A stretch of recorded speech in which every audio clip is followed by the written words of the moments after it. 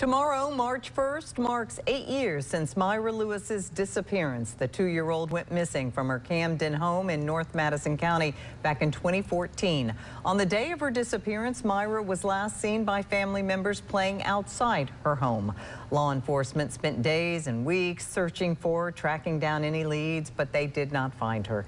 The FBI continues to offer a $20,000 reward for information about Myra's location. She would be 10 years old now. Anyone with information about Myra Lewis can contact the Madison County Sheriff's Department or submit an anonymous tip.